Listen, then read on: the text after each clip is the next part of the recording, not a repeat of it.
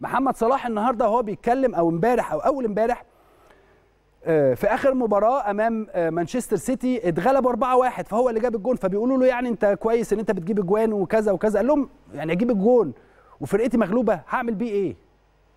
هتبقى جايزة شخصية ليا بشكل فردي ولكن في النهاية فريق اتغلب.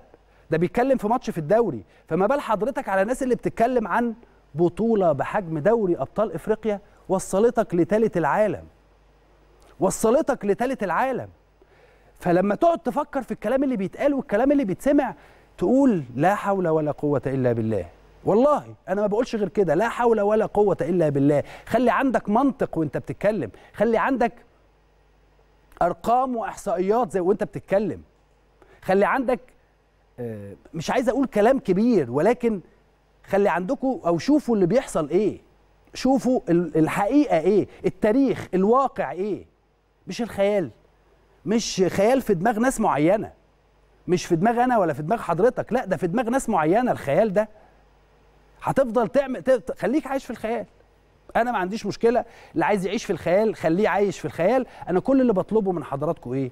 إن إحنا عندنا ماتش مهم يوم الثلاث اللي جاي. نبتدي بقى نفكر في مباراتنا يوم الثلاث وبعد كده في المباريات التي تليها. عندنا بعد كده مباراة في كأس مصر وبعد كده الدوري يرجع وبعد كده آه، بقية المباريات والدنيا تشتغل. نسينا بقى الثالث ده خلاص. ثالث العالم آه، شابوه لكل اللاعبين وشابوه لمجلس الإدارة وشابوه لجمهور النادي الأهلي. ولكن خلاص ماضي قديم قديم. إيه يا عم إسلام؟ ده كان أول امبارح. خلاص قديم.